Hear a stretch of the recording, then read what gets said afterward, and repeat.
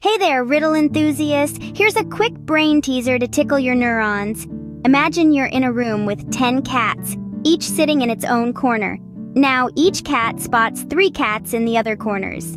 The question is, how many cats are in the room? Think it's 30? Nope, that's the trick.